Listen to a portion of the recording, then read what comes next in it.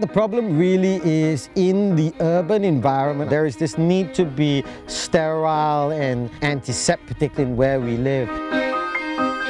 We live in the tropics. We are expected to have a certain number of insects everywhere we go. But anytime someone finds a bee, there is no alternative besides kill.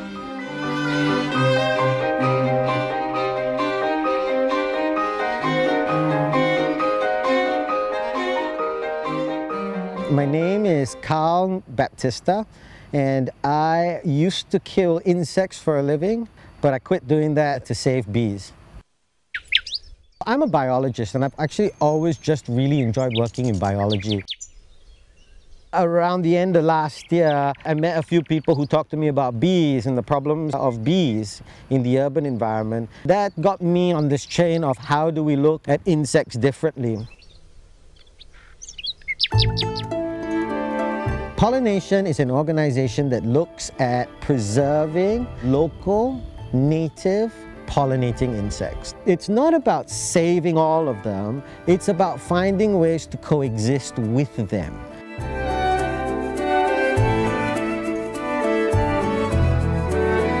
When we started the bee evacuation service, uh, our bee rescue service, a lot of the calls that we get would be people saying, oh, I've got bees on my tree in my house. And a lot of the bees are stingless. So they're actually quite safe to have colonies of these bees in homes or schools.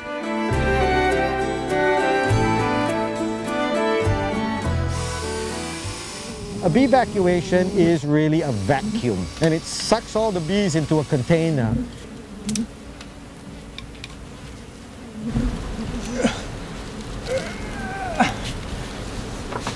I cannot reach in. Ah.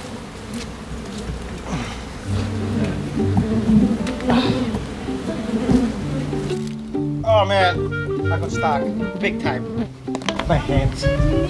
So it's gone now. I'll be fine. I got a couple on my chin. Now, not all bees will kill you. Bees don't care about humans. They only care about flowers. But if you piss one off, they're gonna retaliate.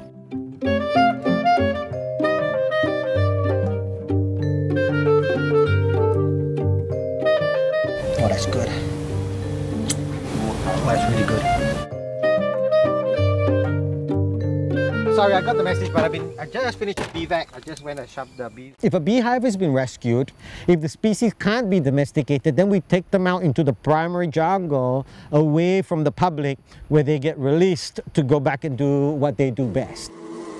Go, girls, go! Find a new home. Go back to the wild. Girls, are you listening to me or not? All y'all are doing is making funny buzzing sounds. Why are you doing that?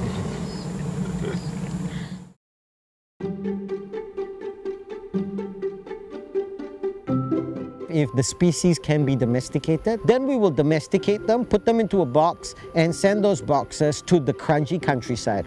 They'll produce about 20 to 25 kilograms of honey a year.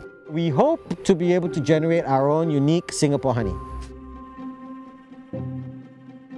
We have in the tropics a wide variety of flowering plants. So we can get very unique honey combinations between types of bees and types of crops.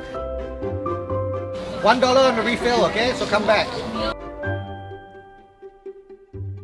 If you think about a beehive, you must think about it as one super organism with many, many different parts and functions. I mean, it's phenomenal just to think one teaspoon of honey was 12 bees' lifetimes. My objective of Pollen Nation has not been the honey. For me, it's always about broods. Opening it up and seeing a healthy hive, for me, it's just joy. If you can create a unique environment where both pollinators and plants are interacting, I think we'll see a much prettier Singapore. That's true sustainable green spaces.